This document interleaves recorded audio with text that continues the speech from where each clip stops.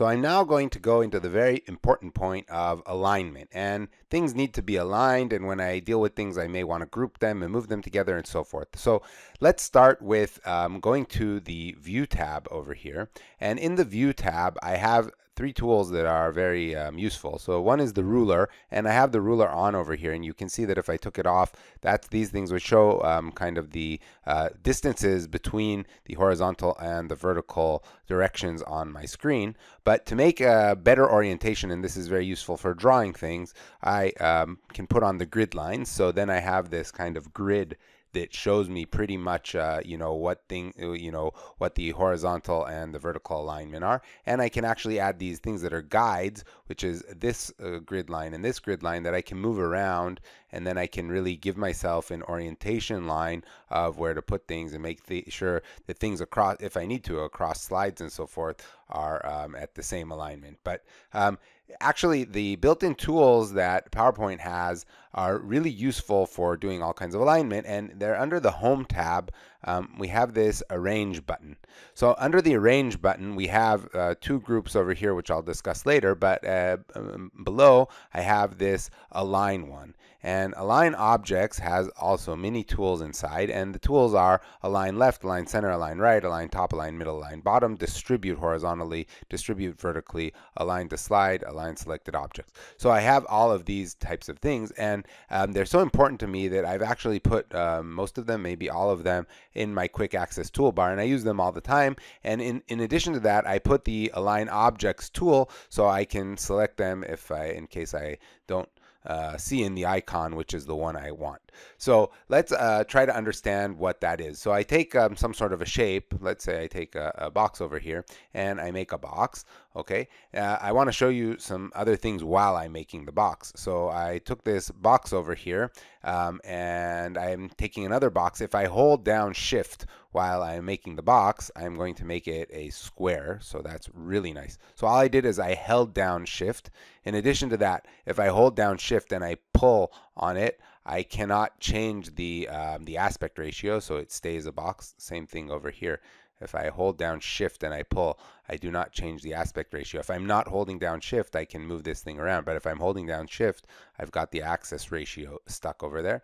Um, similarly, if I hold down control, it's going to uh, change the orientation symmetrically on both sides. So that's shift and that's um, control when I'm resizing boxes. But now it's very important for me to have these two boxes um, at the same alignment right next to, you know, right on the same uh, bottom line together. So I can just take this second box and I can move it down to the grid line that I put over here. Let's say I wanted to move them to a different place. So I move the grid line down here.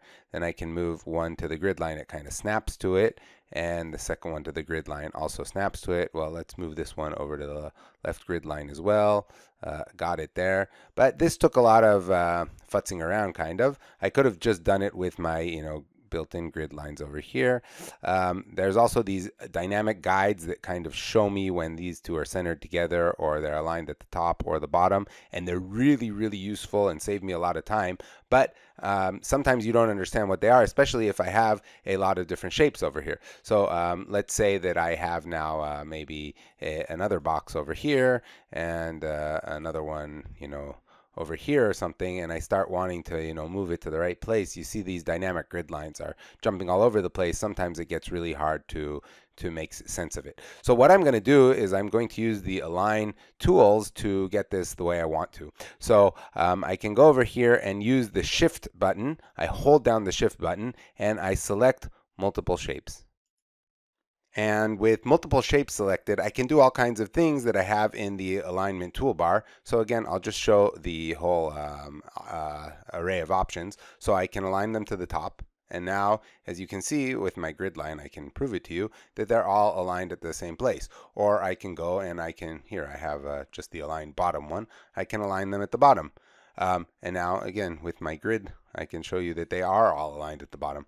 I could have gone and done something else. I could have accidentally maybe hit align to the right. And now they get the whole um, right thing. I can undo that, of course.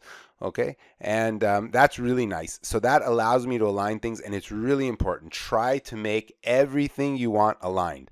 Um, maybe I want these have different sizes, but I have the center of them. Let's say I had some text in all of them, and I want the text to be all centered. So let's put some text inside these different shapes over here, um, and. Uh, okay? And now I want the text to all appear aligned and they're all at the center of this shape because that's how they were chosen um, in the formatting. I can show you how to change that as well.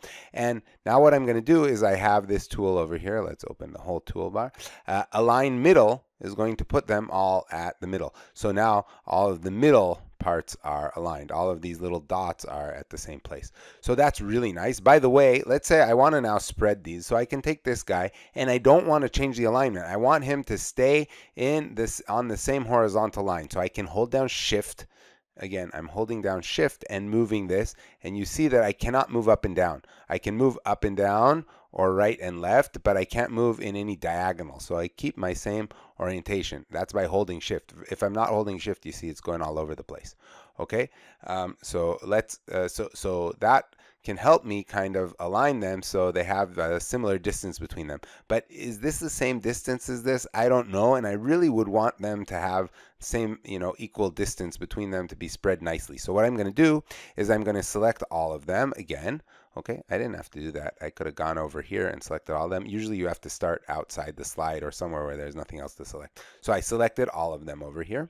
And now again, I'll go back to my alignment uh, uh, tool. And there is a button that says um, distribute horizontally. I always get mixed up between align middle and distribute horizontally.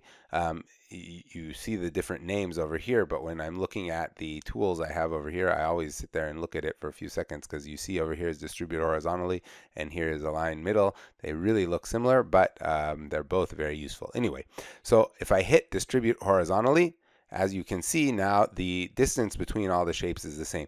That will also appear with my uh, with my dynamic toolbar over here.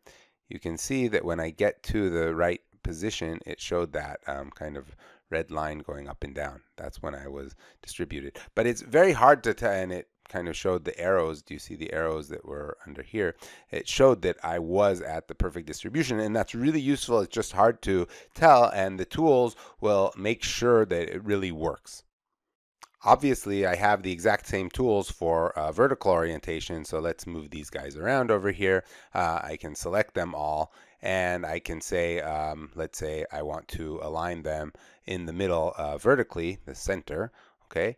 Um, and now I want to have equal space between them. We see obviously there is not equal space between them. Some of them are overlapping, some of them aren't, but there's actually, there is enough margin to put some space between them. So what I'm going to do is I'm going to, again, grab this and distribute vertically, and boom, I have exactly the amount of, you know, the equal amount of space between them, and that's great. If I just take one single thing and I want it to be in the center of the screen, I can go and I can pull it, and at some point it will tell me that it's at the center of the screen with one of these dynamic toolbars. But I can just go and say distribute horizontally, um, uh, and when it's with the screen, it will when when I have only one thing selected, it will do it um, relative to the screen. So again, the distribute vertically is going to put it at the vertical center of the screen okay? So this is uh, alignment and really uh, you should always use alignment. When things are a bit out of alignment it looks very unprofessional. So make sure you are doing all of this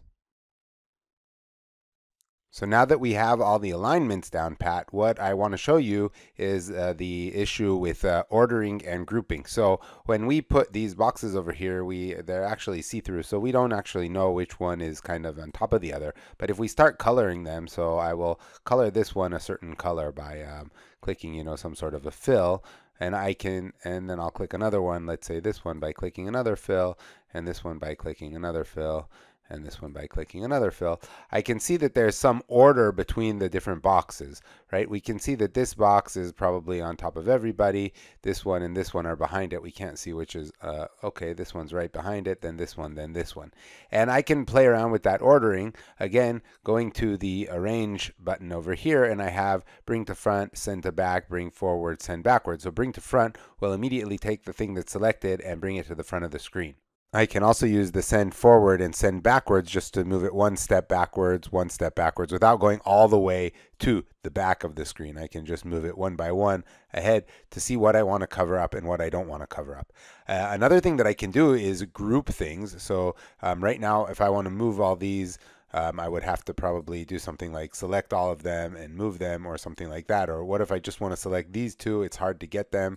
I want to select all three of them. How do I do it? So what would be a better idea would be like, uh, for example, to select these two guys and make a group out of them. So a group is again inside the arrange. I can go group or I could have pressed control G. Now pay attention. Once you group things, they're automatically sent to the front of the screen, the top layer um, of the screen, which I didn't necessarily want to do. Actually, in this case, I cannot move the uh, the brown one to be in front of this lighter brown one and the gray one to be in back because because the group um, moves as one. I can, however, um, do ordering between inside the group. So, for example, if I take this, uh, I can select one of the items inside. Let's select the darker one over here, and it is right now in front of the gray one. And let's say I wanted the gray one inside.